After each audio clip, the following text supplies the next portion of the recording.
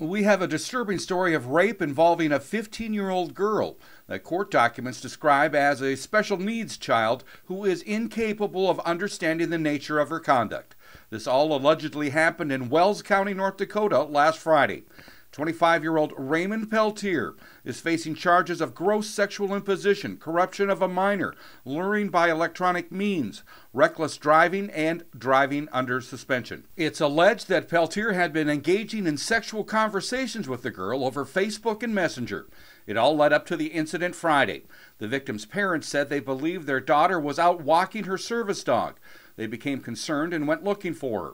A mile from their home, they spotted a car parked in the middle of the road, which took off, and they started following it. At one point, the car slowed down, and it appeared the victim was pushed out of the car nude, and her dog jumped out with her.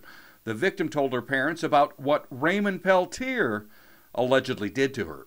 I'm Neil Carlson reporting for iNewZ.TV.